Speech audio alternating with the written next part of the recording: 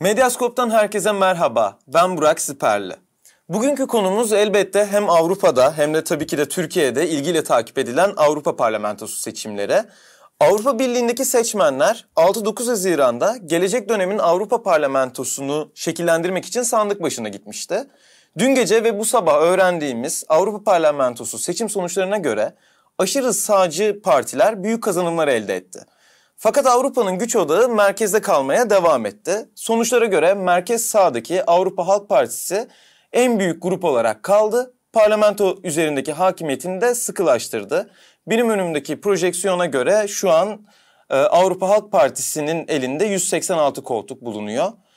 Peki Avrupa Parlamentosu seçimlerinde aşırı sağın bazı ülkelerde beklenenden daha fazla yükselmesi ne anlama geliyor? Avrupa Parlamentosu'nun yeni dönemi üye ülkeleri nasıl etkileyecek? Aşırı sağın yükselmesinde etkili olan faktörler nelerdir? Macron neden erken seçim kararı aldı? Bu tüm bu konuları konukların Bahçeşehir Üniversitesi'nden Profesör Doktor Selcan Öner ve TEPAV AB Çalışmalar Merkezi Direktörü Nilgün Arısan Eralp'e soracağım. Öncelikle hoş geldiniz konuklarım. Çok teşekkür ederim davetimizi kabul ettiğiniz, beni kırmadığınız ve geldiğiniz için. Hoş bulduk. Teşekkürler davet için. Hoş bulduk. Teşekkürler Burak Bey. Ben çok teşekkür ederim.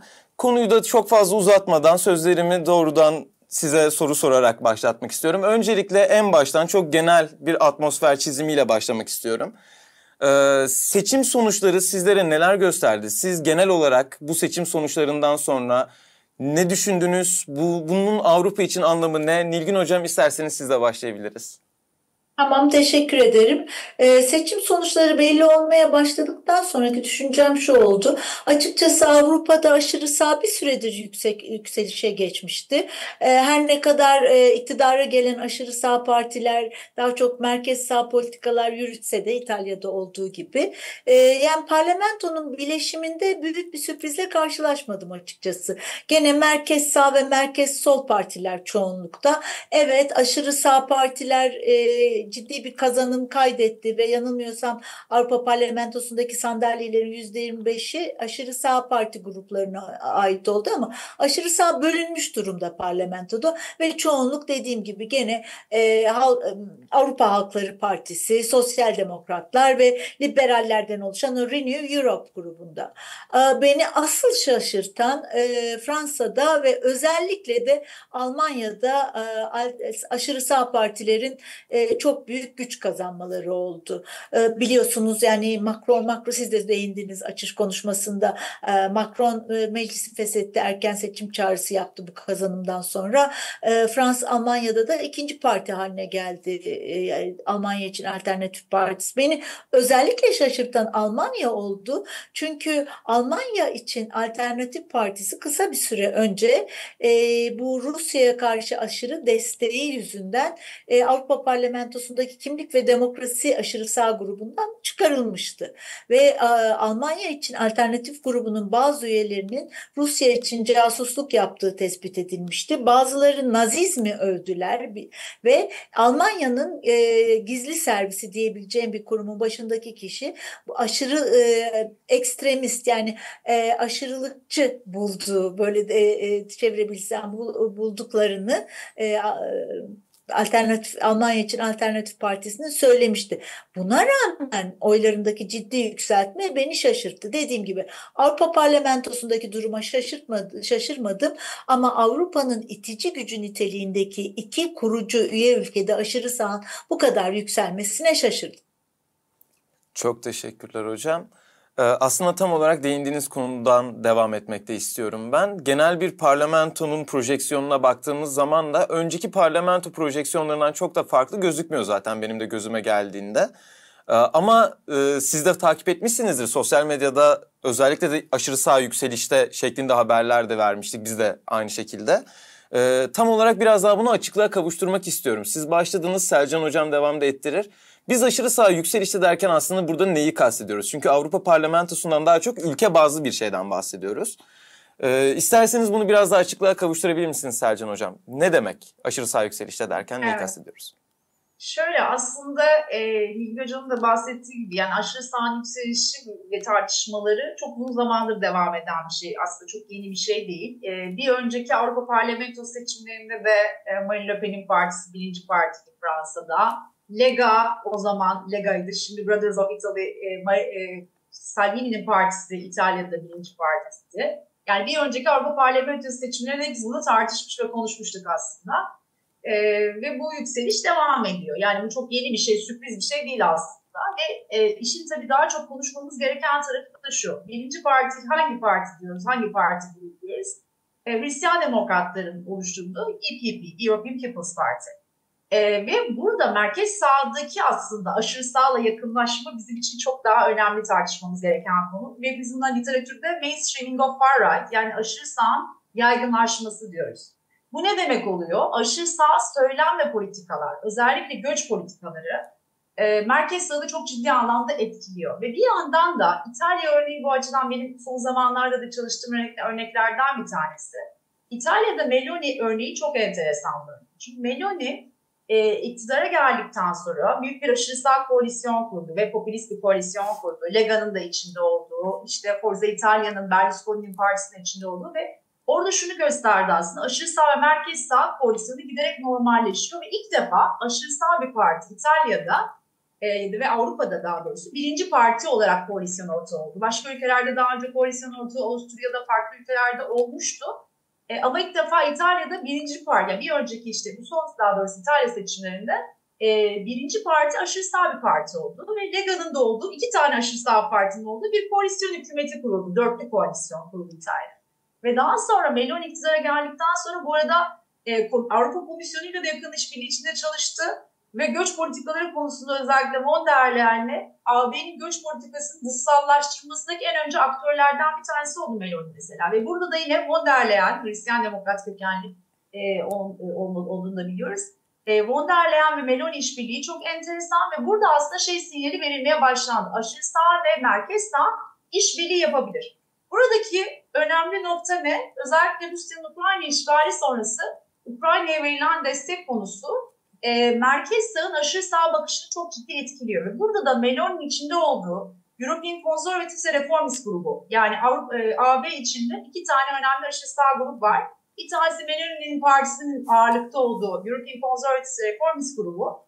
Diğeri de Marine Le Pen'in partisinin ağırlıkta olduğu Aydınlanma ve Demokrasi grubu. Bir tanesi daha e, Rusya'ya daha yakın ID grubu yani Meloni şey pardon Marine Le Pen'in ağırlıklı olduğu grup e, ve Rusya'ya daha yakın işbirliği içindeler. Ne kadar mesafe koymaya çalışsalar da Rusya'nın Ukrayna işgali sonrası.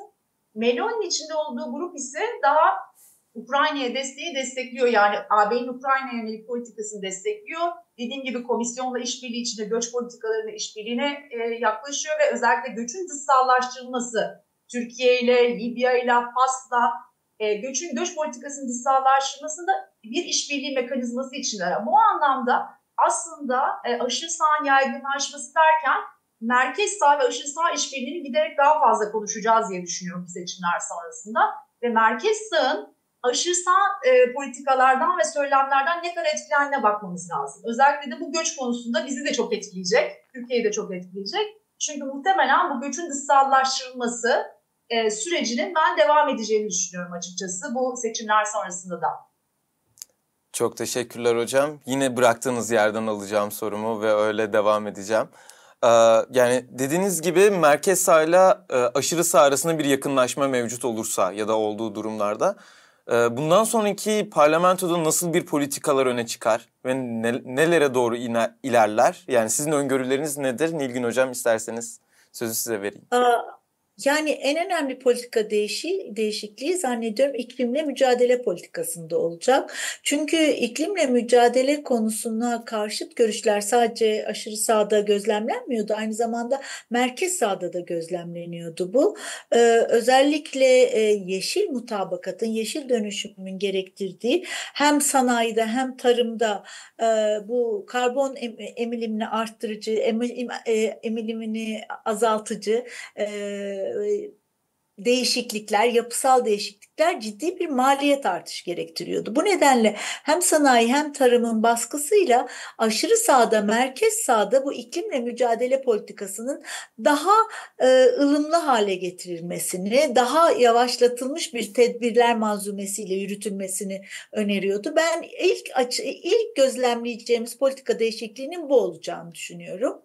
Ee, Selcan Hocam'a katılıyorum. Ee, göçün dışsallaştırılması de ciddi bir şekilde devam edecek. Bunu gördük. Yani e, otoriter rejimlerle, otokratik rejimlerle yönetilen üçüncü ülkelerle Avrupa Birliği kendi değerlerinden ya da kendi benimsediğini öne sürdüğü evrensel değerlerden gitgide uzaklaştı. İltica başvurusu yapan kişileri bu başvurularının sonuçlarını beklerken e, kendileri açısından hiç güvenli olmayan ülkelere geri gönderebilmek için işte Moritanya, Mısır, Tunus, Lübnan gibi ülkelerle anlaşmalar yaptı. Siz bu mültecileri tutun biz de size para verelim. Ama orada mülteciler ya da potansiyel mülteciler ne gibi koşullarla yüz yüze kalıyor? Bununla hiç ilgilenmediler. Bu politikanın genişleyeceğini düşünüyorum. Bu bağlamda salt, salt bu bağlamda da Türkiye ile ilişkilerin geliştirilebileceğini düşünüyorum. Ee, bir de tabii şöyle bir e, durum var. Ukrayna'ya karşı e, Rusya'nın Ukrayna'ya işgali e, karşısında Avrupa bir birlik içinde tepki vermişti. Bu birliğin çözülebileceğini düşünüyorum. Almanya'da e, çok büyük oyların da büyük artış gözlemlenen Almanya için alternatif politikasının alternatif partisinin içinde çok ciddi Rus yanlıları var. Keza Marine Le Pen'in ulusal cephesinin içinde de. E, bunlar Rusya'ya karşı uygulanan yaptırımlara e, engellemeye çalışırlarsa Ukrayna'ya yapılan askeri yardımı ve diğer mali desteği kesmeye çalışırlarsa bu birlik içinde ciddi bir bölünmeye yol açacaktır. Özellikle bu ülkelerle Rusya sınırı olan işte Doğu Avrupa ülkeleri ve Baltık ülkeleri arasında ciddi bir bölünme yaşanacaktır. Bir de bu arada hani dışsal koşullara da biraz bakmalıyız diyorum. Sonbaharda yapılacak seçimlerde Amerika Birleşik Devletleri'nin başına Trump gelirse e, Avrupa Birliği'nin e, Rusya ya da Ukrayna politikası e, ya da Batı'nın diyelim e, bu politikası ciddi biçimde zedelenecektir. En önemli e, sonuçlarından biri de bu olacaktır diye düşünüyorum aşırı sağ yükseliş, yükselişin. Çok teşekkürler hocam. Selcan hocam size de aslında biraz daha şimdi özel olarak şeyi sormak istiyorum. Macron bir erken seçim kararı aldı. Hemen sonuçların açıklanmasından, projeksiyonların gelmesinden sonra. Aynı anda Almanya'da e, Scholz için özel olarak erken seçim çağrısı yükselmeye başladı tekrardan. Ee, Belçika'da başbakan istifa etti. Ya bunun gibi gelişmeleri gördük bir gece içerisinde. Avrupa Parlamentosu'nun bu seçimleri anlaşılan bazı ülkelerdeki iç siyaseti de etkiliyor. Bu açıdan nasıl bir gelecek öngörüyorsunuz? Neler olacak? Evet benim açımdan açıkçası en büyük bugün e, sosyal medyada bunu paylaştım zaten. E, yani e, aşırı sağın yükselmesi ve bu sonuçlar çok sürpriz olmadı. Aslında anketler orada doğru tahmin etti ve anketler uzun zamandır hatta EFD'nin daha da yüksek, birkaç önce çok daha yüksekti. E, Nilgün Hocam'ın da başta anlattığı gibi bu hem e, Rusya desteğinin daha fazla ön plana çıkması, ayrıca e, neonazi söylemlerin ve bir takım işte biz e, iktidarda olursak veya işte daha güçlü olursak e, göçmen entegre olamayan çok ucu açık bir şekilde entegre olamayan göçmenleri işte sığınmacıları vesaire göndeririz söylemlerin ortaya çıkmasıyla çok ciddi protestolar yapıldı Almanya'da hatırlarsınız. Ve bu protestolar sonrasında bir ara anketlerde EYT'nin destek oranları %22'lere falan çıkmıştı. Yani çok daha yüksekti. Şimdi %15'lerde en son baktığım kadarıyla bir oy aldılar, ikinci parti oldular. Ee, bir düşüşte yaşandı. Çok ciddi tepkiler oldu toplumda. Çok ciddi protestolar yaşandı. E, Fransa'da tabii dediğim biraz önce bahsettiğim gibi 2019 seçimlerinde birinci partide o da %23'ler falan civarındaydı. Şimdi %30'ların üzerine çıktı e, Marine Le Pen'in partisi. E, ve tabii seçim yani Macron'un erken seçime gitme, meclis seçime götürme kararı alması çok ciddi bende sürpriz yarattı. Ve bu kadar kısa bir süre içinde böyle bir risk alması bu konuyla ilgili bir fark uzmanların yorumlarına baktığımda yani kimisi bunu gerçekten ben de biraz e, karamsar bilmiyorum İlgin Hocam belki farklı düşündür biraz karamsar ve yani bu kadar kısa zamanda toparladım çok büyük bir risk olduğunu düşünüyorum açıkçası. E, ondan sonra bir kısım da diyor ki evet bunun aslında olması gereken yani şey e, cesur bir karar evet ama hani e, bu risk alınması gerekiyordu diyen e, uzmanlar da var. Farklı görüşler var.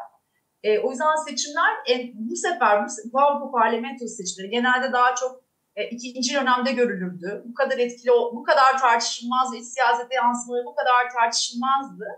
E, fakat bu sefer e, işte başbakan istifası Belçika'daki örnekte olduğu gibi seçim kararı alınması gibi çok ciddi yansımaları oldu. O yüzden herhalde yansımalar devam edecek diye düşünüyorum.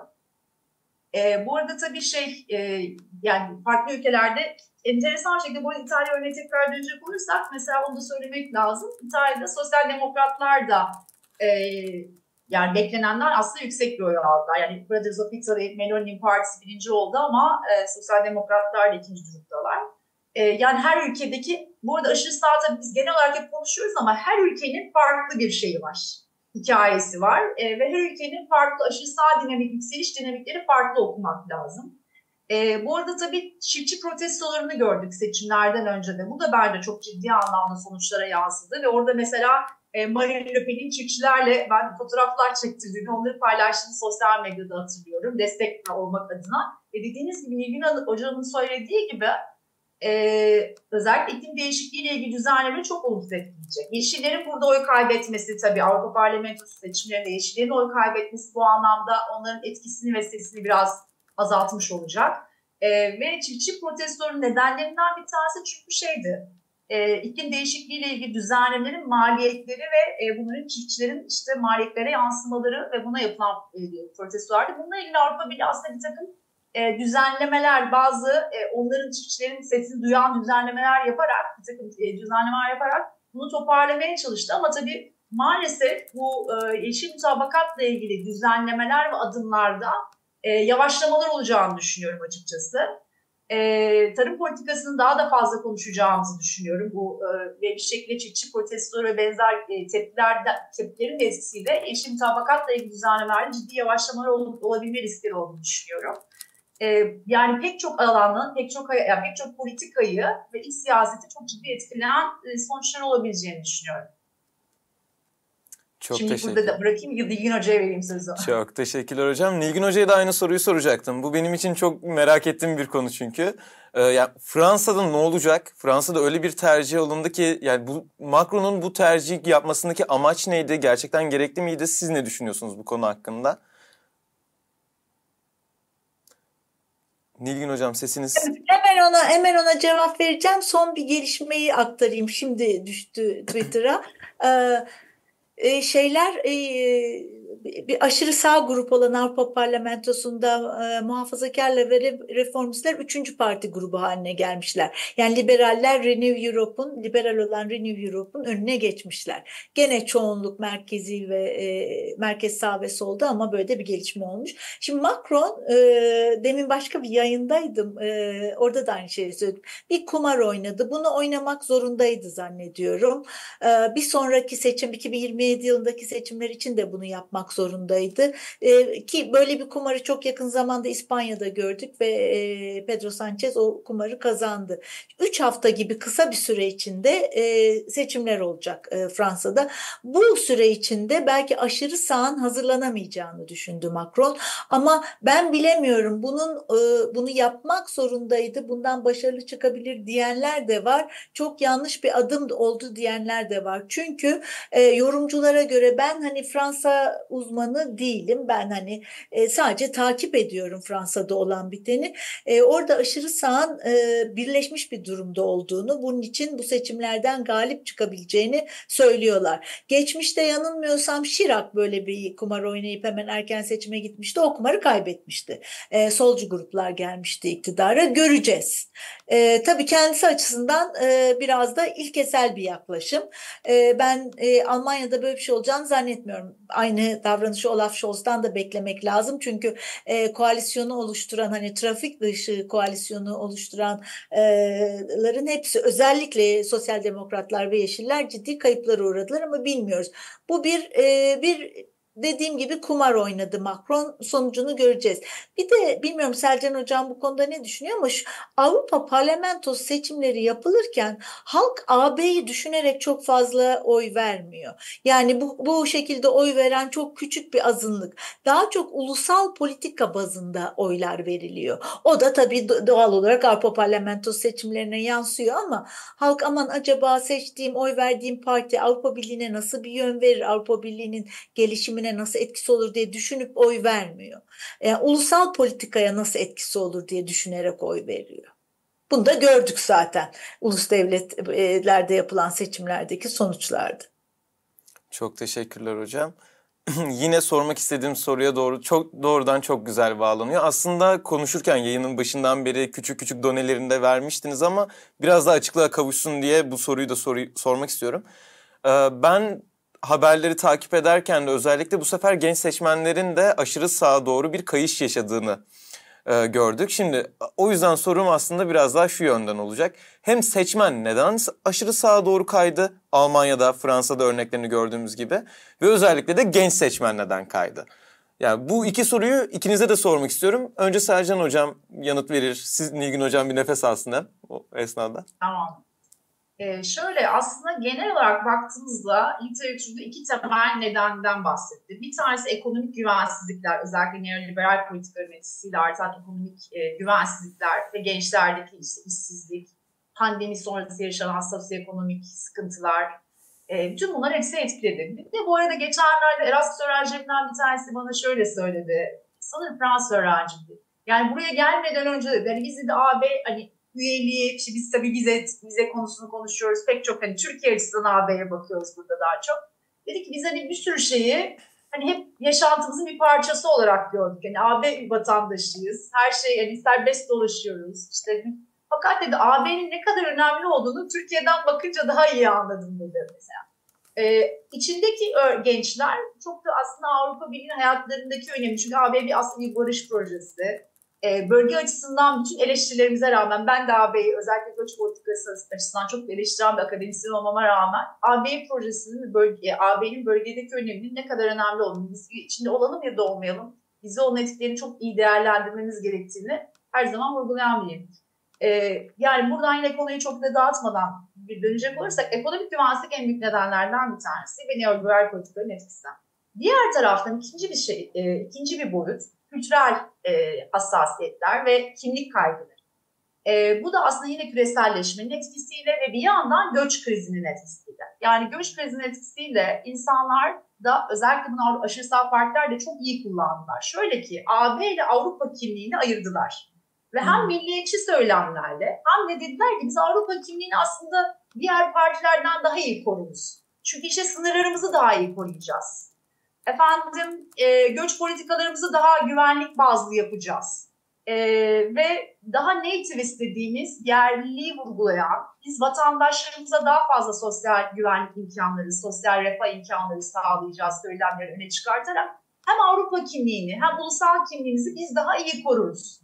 Mesela şey Meloni'nin sloganlarından bir tanesi İtalya'yı değiştirdik, şimdi Avrupa'yı değiştirme zamanı. O yüzden artık AB'den çıkalım demiyorlar zaten bu partiler biz AB'de daha etkili olalım. AB kurumlarında, Avrupa Parlamentosu'nda, işte komisyonda, farklı yerlerde daha etkili olalım. Ve bir şekilde biz AB'yi içeriden dönüştürelim diyorlar. Ve söylemleri şu Europe of Nations yani Uluslar Avrupası. Ee, ulus devletlerin, üye devletlerin daha güçlü olduğu, seslerini daha fazla çıkartabildikleri, AB'nin supranasyonel, federal yapıdan uzaklaştığı e, bir Avrupa e, hayalini vurguluyorlar. O yüzden artık hani Avrupa karşıtlıkları da artık dönüştü onların. Yani AB'den çıkalım, Brexit sonrası böyle ilk anda bir acaba başka çıkışlar olacak mı korkusu yaşandı. Fakat sonrasında 2019 Avrupa Parlamento seçimlerinden beri aslında söylemleri ciddi değiştirdiler. Hayır biz Avrupa'da daha güçlü olacağız ve AB içeriden dönüştüreceğiz dedi. O yüzden aslında AB içinde farklı Avrupa vizyonları yarışmaya devam ediyor. Ve bizim bunu çok iyi takip etmemiz lazım ki bu neye doğru dönüşecek? Hangi Avrupa vizyonu öne çıkacak? Çünkü e, çok bambaşka Avrupa vizyonları var bu siyasi partilerin. E, özellikle merkez partiler ve aşırı sağ partilerin en önemli ayrımları bu. Ama e, onların Avrupa vizyonu da artık AB'den çıkalım değil, AB'yi dönüştürelim şeklinde. Evet. E, deyip ben Nilgün Hanım'a e, bırakayım sözü. Çok teşekkürler. Nilgün Hocam buyurun eklemek istedikleriniz. E, şu Selcan Hocam'ın e, dediği hani artık Avrupa'dan Avrupa Birliği'nden çıkalım Avrupa Birliği'ni dönüştürelim. Özellikle Brexit'ten sonra Büyük Britanya'nın yaşadığı ekonomik e, sorunlar bunda çok rol oynadı tabii. Hem ekonomik sorunlar hem Britanya vatandaşlarının Avrupa Birliği'ne girişte karşılaştıkları zorluklar. O zaman içten dönüştürelim. Artık federalizme karşı işte Uluslar Avrupası ve gençler de buna ama ben de katılıyorum. Gençlerin aşırı sağ partilere oy vermesindeki en önemli neden yaşadıkları ekonomik güçlükler. Ve bizde de yapıldığı gibi bu ekonomik güçlüklerin karşısında günah keçisi olarak göçmenlerin onlara sunulması. Yani göçmenlerin ekonomiye yaptığı katkılardan hiç bahsetmedi aşırı sağ partiler. Ya da yani sağda solda akademik çalışmalar olarak e, kaldı. Esasında göçmen çok büyük bir göçmen akımı olmadığı, göçmenlerin özellikle nitelikleri nitelikli göçmenlerin büyük katkıda bulunduğu. Mesela bir e, Hollandalı eski politikacı anlatmıştı. Yani hemen Hollanda'nın seçimlerinden önce, e, sonbahardaki seçimlerinden önce Hollanda'da e, konut krizine karşı yani ciddi bir e, konut sıkıntısı yaşanıyor ve bunun suçlusu olarak da özellikle nitelikli göçmenler gösteriliyor. Çünkü nitelikli iş gücüne ihtiyaç var. Bazı üye devletler Almanya, Hollanda gibi nitelikli iş gücüne yani mühendisler, doktorlar için e, göç kurallarını gevşettiler. Bak işte bu konutlarda onlara veriliyor. Bu konut sıkıntısının nedeni göçmenler şeklinde gösterilmiş. Ve e, maalesef e, bu e, söylemi de bir şekilde sat, satın aldı genç seçmen seçmenler. Açıkçası bazı üye devletlerde genç seçmenlerin niye oy verdiğini anlamak da mümkün değil. Bu sabah okudum ben de Kıbrıs'ta e, yapılan seçimlerde yüzde on sekiz gibi hatırı sayılır bir oyu e, TikTokçu bir bağımsız aday almış. Yani geçme, e, gençler böyle değişik e, kişilere, değişik partilere de oy verebiliyorlar ama ağırlıklı olarak dediğim gibi bu ekonomik güçlüklerin nedeni e, göçmenler. Aynı zamanda biz hem Avrupa değerlerini daha iyi koruruz e, merkez sağdan ve sosyal demokratlardan hem de ulusal değerlerimizi daha iyi koruruz yani uluslar Avrupası. Biz aynı zamanda milliyetçiyiz, milli değerlerimizi de korumamız lazım Avrupa değerlerinin yanı sıra diyerek gençlerin oylarını aldılar. Ağırlıklı olarak gençler aşırı sağ oy vermişler birçok üye devlette. Ama çok da hani tabiri caizse yanılmıyorsam bu Çetin Altan'ın lafıdır. Enseyi çok karartmamak lazım. Mesela Polonya'da yıllardır iktidarda olan e, ada, şey Hukuk ve Adalet Partisi Hukuk ve Adalet Partisi ciddi oy kaybına uğradı ve Merkez Sağ Hristiyan Demokrat Donald Tusk'un partisi ciddi bir kazanım sağladı. Evet Macaristan'da Orban'ın partisi Fidesz gene birinci parti ama oy kaybına uğrayarak birinci parti. Ee, Kuz Kuzey Avrupa ülkelerinde gene sosyal demokratlar e, oylarını arttırdılar. Mer e, aşırı sağ mesela Finlandiya'da İsveç'te de oy kaybetti. Yani böyle şeyler de bakmak lazım ama herhalde hepimizin moralini bozan, aşırı sağın yükseldiği İki ülke Avrupa Birliği açısından çok önemli. Kurucu ülkeler, Avrupa Birliği'nin gelişimine yön veren ülkeler. Hatta geçen sene yanılmıyorsam sonbaharda bu Avrupa Birliği genişlemeden önce Avrupa Birliği'nde nasıl bir reform süreci başlatılmalı diye Almanya ve Fransız hükümetleri iki ülkeden akademisyenlere ciddi bir rapor hazırlattılar. Yani geleceği düşünen e, Avrupa Birliği ne yöne gitmeli diye hem düşünen hem de bunu uygulamaya sokmada e, ağırlıkları olan ülkeler diye düşünüyorum. Bir de ben e, demin söylemeyi unuttum bilmiyorum Selcan Hocam ne düşünür ama e, Avrupa Birliği genişleme sürecinin de ciddi sekteye uğrayacağını düşünüyorum bu aşırı sağın yükselmesi nedeniyle. Özellikle Almanya ve Fransa'da yükselmesi nedeniyle. Yani e, Batı Balkanlardan çok ben hani e, şeyden Ukrayna'nın geçen hafta komisyon e, hazırladığı raporda Ukrayna'la ile artık müzakereler başlayabilir dedi ama ben artık müzakerelerin kolay başlayabileceğini ya da kolay sonuçlandırılabileceğini düşünmüyorum.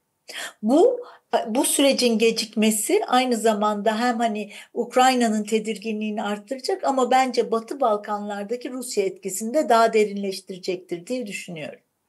Çok teşekkürler Nilgün Hocam. Bu buradan doğrudan Selcan Hoca'ya soracağım o zaman bu konu hakkında ne düşündüğünüzü. Çünkü önemli bir tahlil olduğunu da düşünüyorum bunun. Selcan Hocam siz ne dersiniz bu konu hakkında? Evet hem onu hem de bir iki şey daha e, Nilgün Hocam'ın dediğim şey bir iki şey daha eklemek istiyorum genç seçmenlerle ilgili. E, tabii aşı sağ partiler burada sosyal medyayı da çok iyi kullanıyorlar gerçekten. E, ben e, Fransa'nın şu e, Marine Le Pen'in partisinin şu an başındaki Bardella ve Avrupa Parlamentosu seçimlerinde etkili olmasındaki en önemli genç isim e, mesela onun e, çok ciddi bir TikTok yani TikTok ben takip ettiğim bir şey değil. E, sosyal medyada e, alanımdan ve e, aşırı sağ çalıştığım için aşırı sağ liderleri takip etmeye çalışıyorum Instagram'dan ve şeyden ama TikTok kullanmadığım için bilmiyordum. E, Bordella'nın çok ciddi bir TikTok takipçi sayısı varmış mesela ve onun da etkili olduğunu söylüyorlar. O yüzden sosyal medyayı genelde aşırı sağ e, parti liderleri ve siyasetçileri çok iyi kullanıyorlar. Sosyal medyaya çok ciddi bakmamız lazım o anlamda. Nasıl kullanılıyor, nasıl ediyor ve gençlere ulaşmak açısından çok önemli unsurlardan, araçlardan bir tanesi. Ve e, bunun alternatif olarak Ayhan Hoca, Ayhan Kaya da biliyorsunuz gençler radikalleşme üzere çalışıyor. Ayhan Hoca da bir toplantıda dinlemiştim ondan. Ee, özellikle tabii gençlere dokunmak, konuşmak ve görülmek. Yani görüldüklerini fark ettirilmesi çok önemli e, bu anlamda da merkez partilerin onların sorunlarına çözüm üretebilmesi çok önemli. Aşırı sağın en iyi yaptığı popülist söylemlerin en çok öne çıkmasının nedenlerinden bir tanesi aslında bu. Bilgin Hocam'ın da belirttiği gibi çözüm bulmuyorlar bu partiler ama çözüm bulmak yerine bir takım günah keçileri ve özellikle sığınmacılar ve özellikle de e, Müslüman ve e, Avrupa dışından sığınmacılar. Ukraynalılara karşı daha pozitif bir yaklaşım varken e, pek çok ülkede özellikle Polonya örneğinde bunu çok net gördük. E, Suriye krizi sonrası hiçbir sığınmacı istemezken Ukraynalılara kapılarını açtılar gibi. O yüzden Avrupalı olmayan ve özellikle de e, Müslüman sığınmacılara, Afrikalı sığınmacılara karşı ciddi bir ötekileştirme ve günah keçisi olarak gösterme var. Ve biz bunlardan uzak tutacağız ve biz sizi bunlardan daha iyi koruyacağız söyleminin de e, ciddi anlamda etki, etkili olduğunu ve seçmende karşılık bulduğunu görüyoruz. Genişleme sürecini de ben de çok e, yani bundan sonra daha da yavaş ve zaten uzun süredir yoğurdu üfleyerek yiyorlardı. Daha da fazla üflemek durumunda kalacaklarını düşünüyorum. E, Türkiye açısından da bu anlamda zaten ilişkiler zaten pek parlak değil, hiç parlak değildi ama bu anlamda bize de olumsuz yansımalar olacak. Ama belki işte dediğim gibi göç konusunda Türkiye ile işbirliği yeniden e, ön planda olmaya devam devam edecek diye düşünüyorum ama e, İran'a katılıyorum. Genişleme sürecinin daha da yavaşlayacağı ve daha da zorlanacağı. Tabii Rusya ile aşırı sağ partilerin işbirliğini de unutmamak lazım. Özellikle ID grubu yani Marine Le Pen'in de içinde olduğu grup e, grubun Rusya ile işbirliği e, çok ve desteği e, çok e, önemli. Hem finansal desteği hem de bir yandan da e, efendim e, siber güvenlik ve benzeri konular açısından da e, sosyal medya üzerinden ve farklı açılardan da destekleri tartışılıyor. Bu da incelenen e, konulardan bir tanesi. Bu arada biliyorsunuz AFD'yi bu gruptan, ID grubundan çıkartmışlardı Marine Le Pen'in öncülüğünde. Şimdi bugün Avusturya'daki FPÖ, e, Freedom Party of Austria'nın yani Aşırı Sağ Parti'nin e, talebi şuymuş tekrar AFD'yi geri alalım. Çünkü eğer AFD geri alınsaydı ID grubu European Conservatives çünkü şu an aşırı sağlar yarışıyor aslında kendi içinde. İsyanın önünde olacaktı eğer AFD ID'nin içinde olsaydı. Ama ID'dekiler e, pardon AFD ID'den çıkarttığı için şu an ID AFD'dekiler e, bağımsız durumlar yani şey grupları yok şu an. E, tekrar grubu alalım mı tartışmaları var. O yüzden bu tartışmaları muhtemelen daha çok görecek, göreceğiz. Ve bu tabii e, komisyon başkanının seçimini de etkileyecek. Ama muhtemelen bilmiyorum Nilgün nasıl düşünür ama von der Leyen sanki e, seçilme ihtimali yüksek gibi görünüyor. Çünkü muhtemelen European Conservative Reformist grubu yani Meloni'nin partisinin ağırlıkta olduğu grup da e, von der Leyen'i destekleme ihtimali yüksek bir grup. O yüzden e, von der Leyen'in seçilme ihtimali, komisyon başkanı yeniden seçilme ihtimalinin yüksek olduğunu düşünüyorum. Ben de katılıyorum. Çok teşekkürler. O zaman biraz da son sorularıma doğru gelmek istiyorum. Şimdi Türkiye özelinde biraz daha konuşabiliriz belki de. Yani bu son parlamento seçimleri, işte aşırı sağın yükselmesi, son sonuçlar, her ne kadar çok da değişiklik olmasa da Türkiye-AB ilişkilerinde nasıl, ya Türkiye-AB ilişkileri nasıl etkileyecek aslında sorum da birazcık o. Nilgün Hocam.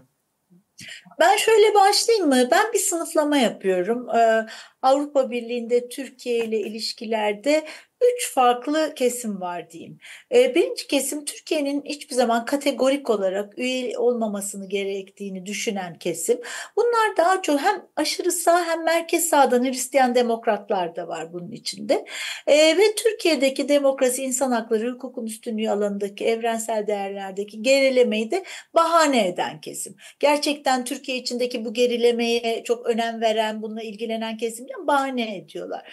İkinci bir kesim her zaman Türkiye'nin önemli bir stratejik ortak olduğunu düşünen kesim ama yani üye olmaması gerektiğini düşünen kesim. Üçüncü kesimde üyelik koşullarını yerine getirdiği takdirde Türkiye'nin üye olması, üye olmanın üye olma hakkına sahip olduğunu düşünen kesim.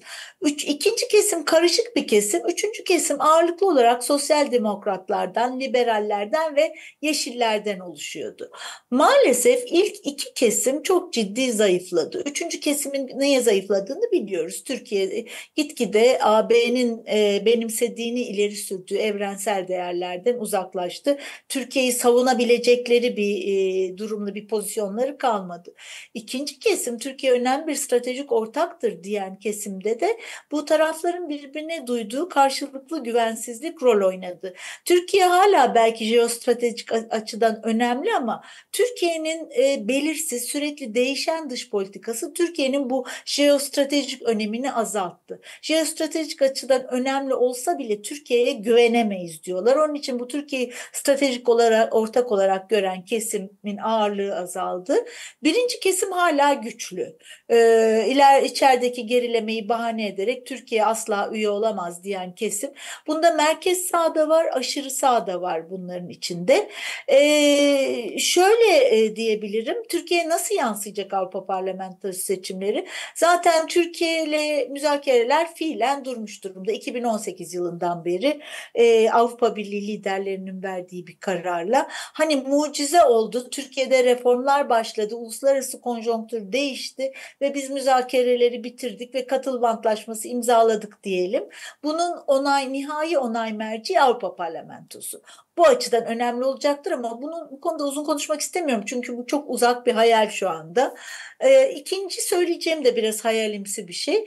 E, vizelerin serbestleştirilmesi için Türkiye'nin yerine getirmediği altı koşul vardı. En önemlisi de terörle mücadele yasasında terörist tanımının genişliğinin ortadan kaldırılmasıydı.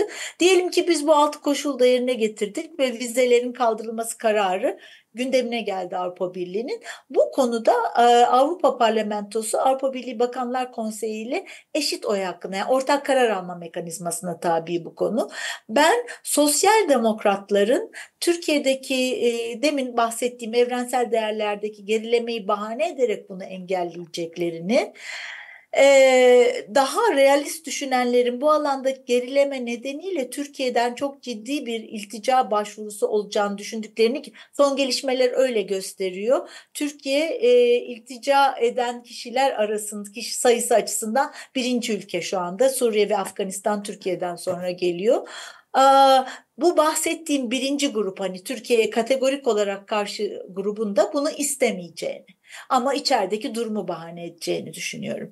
Gelelim e, Türkiye için özellikle Avrupa Birliği ile değer bazlı bir ilişki kurulmasını savunan bizler gibi insanlar ve iş dünyası için çok önemli olan konuya gümrük birliğinin modernizasyonu. Diyelim ki Avrupa Birliği bakanları e, Avrupa Komisyonu'na nihayet yetki verebildiler. Müzakereler başladı. Türkiye bu müzakereleri başarıyla bitirdi. E, bu konuda Avrupa Parlamentosu'nun onayına ihtiyacımız var. Deminki nedenlerle demin bahsettiğim bahsettiğim gruplar buna şu anda mevcut koşullarda karşı çıkacaklardır diye düşünüyorum. Çünkü uzun süre yani Avrupa Birliği e, liderlerinin verdiği bir karar var. Evrensel değerlerden uzaklaşan bir Türkiye'ye biz bir gümrük birliği modernizasyonunu müzakere etmeyiz dediler. Bu koşul değişti şimdi Kıbrıs sorununun çözümü oldu ama yani gene aynı bahaneler gelecektir diye düşünüyorum.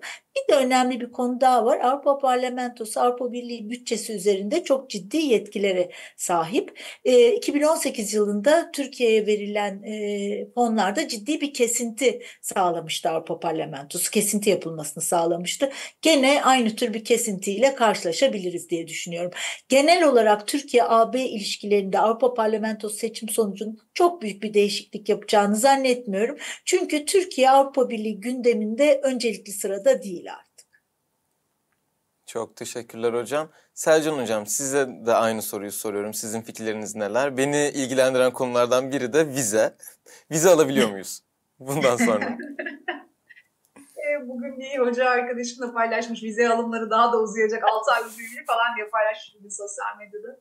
Ya, o konuda çok e, iyimser bir cevap veremeyeceğim Burak Bey gibi görünüyor ama genel olarak şöyle bir değerlendirme buna bağlayayım. E, aslında şu an Avrupa Parlamentosu'ndaki birinci partinin başındaki Manfred Weber'le ben doktora tez öğrencisiyken, doktora öğrencisiyken doktora tezim için görüşmeye gitmiştim, mülakat yapmaya Brüksel'e gitmiştim. Manfred Weber'le o yüzden tanışma şansım oldu. Nasıl baktığını biliyorum yani Türkiye AB üyeliğine. E, aslında aşırı sağcılardan çok da farklı bakmıyordu. 2006'da bile düşünün ki reform süreci göreceli olarak çok daha iyi giderken Türkiye'de o zaman bile olumsuz bakıyordu ve Türkiye'yi Türkiye'yi Avrupa'nın bir parçası olarak görmediğini görmüştüm. E, çünkü Hristiyan demokratlar e, da aslında pek çoğu Avrupa kimliği daha çok kültürel temelde tanımlıyorlar. Yani e, Hristiyanlık, antik dünya, Roma medeniyeti gibi e, tarihi ve kültürel referanslarla tanımlıyorlar. E, bir kısmı hariç e, pek çoğu aslında e, Avrupa'da böyle tanımladığı için Türkiye'de Avrupa kültürünün ve kimliğinin bir parçası görmüyorlar. Ama Nilgün Hanım'ın da bahsettiği gibi değerler Avrupa'sını savunan bir Avrupa vizyonuna sahip olanlar sosyal demokratlar, yeşiller e, ve daha e, pragmatik bakan ve daha rasyonel bakan liberaller. Yani onların Türkiye'ye bakış açısı evet Türkiye reformları gerçekleşirse Kopenhag kriterlerini karşılarsa vesaire vesaire bu değerler bazında bir e, yakınlaşma sağlanırsa Türkiye AB üyesi olabilir diye o zaman da öyle bakıyorlardı. Şu anda da öyle bakın, daha, daha böyle bakan değerler bazında bakan bir yaklaşımları var.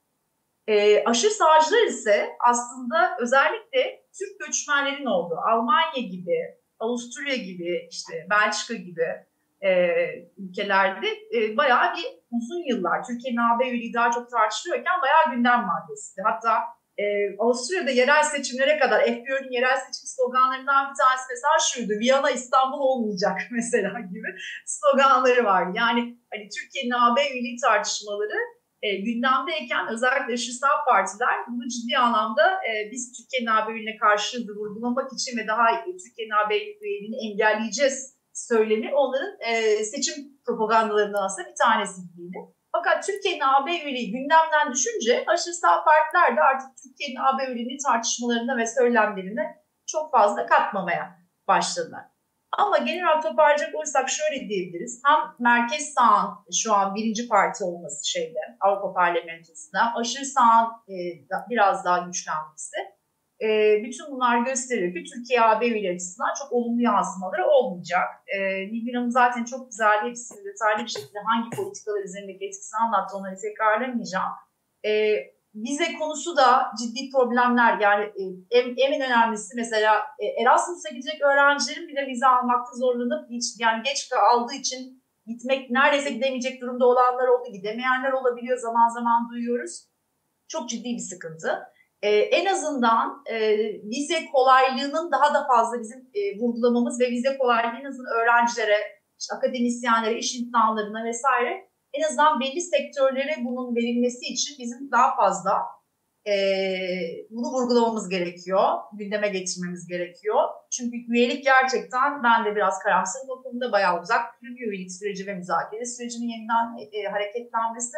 O yüzden en azından bu konularda daha fazla e, adım atılmamız atılması gerekiyor. Ama buradan ne karşılık gelir çok ben de şu ara karamsarım açıkçası. Özellikle sığınma taleplerinin Türkiye'den bu kadar yüksek olduğu, rakamların bu kadar yüksek olduğu durumda. E, o anlamda çok olumlu bir e, Burak Bey çok olumlu bir cevap veremeyeceğim vize konusunda da. Ama göç konusunda işbirliği muhtemelen devam edecek. E, etmek durumunda kalacak. Çünkü e, göç politikası AB'nin en önemli önceliklerinden biri olmaya devam edeceğini düşünüyorum ve göçün e, özellikle aşırı sağ yükselmesiyle birlikte yeni bir New Migration Pact dediğimiz yeni bir e, göç e, düzenlemesi yaptı e, Avrupa Birliği yakın zamanda. Bunun uygulamasında şöyle bir yöntem geliştirmeye çalıştılar. Kendi içlerinde çünkü çok, çok ciddi bir dayanışma krizi yaşadılar. Özellikle Avrupa Birliği sınırlarındaki Yunanistan, İtalya gibi ülkeler göç krizinden çok etkilendiği için dediler ki biz ciddi bir dayanışma krizi yaşıyoruz. Başka AB ülkeleri de bizim bu yükümüzü biraz alsın. Fakat bunda ciddi anlamda Orban başta olmak üzere, Macaristan başta olmak üzere yani bu anlamda destek vermek konusunda ciddi şeyler var. Dirençler var bazı ABD'lerinden.